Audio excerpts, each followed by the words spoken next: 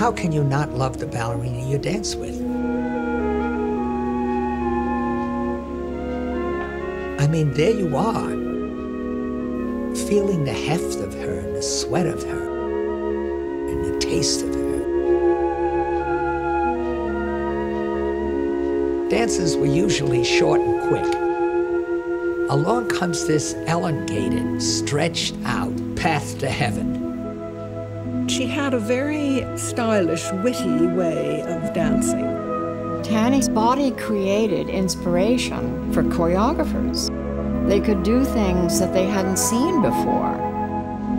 I think Balanchine's interest in Tanny started the day she entered the School of American Ballet.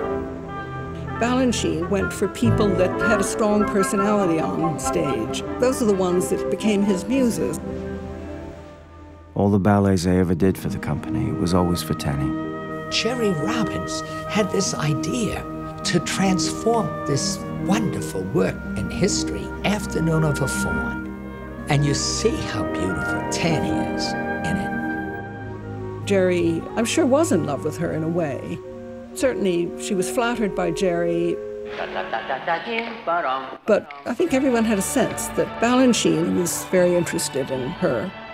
And I think the only person she truly was ever deeply in love with was George as well. They married on New Year's Eve, 1952. She was with the greatest choreographer ever. She was at the height. She was beautiful. Incidentally, you're going on a tour of, of Europe too, aren't you? Yes, we're going in August.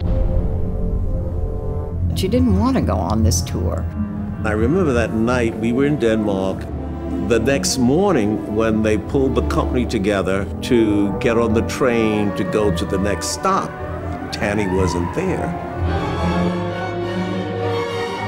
The tragedy of Tanny is epic. Epic. She was destroyed as a dancer. It was absolutely more than you could take on. It was almost unbelievable.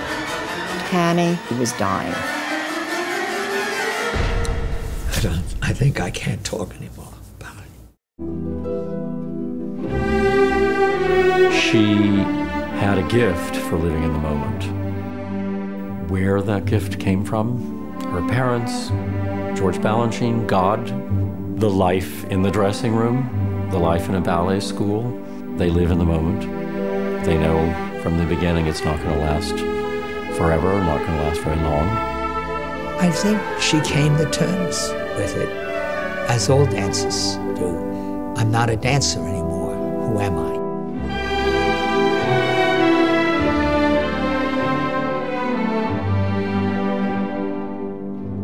I'm not a dancer. Who am I?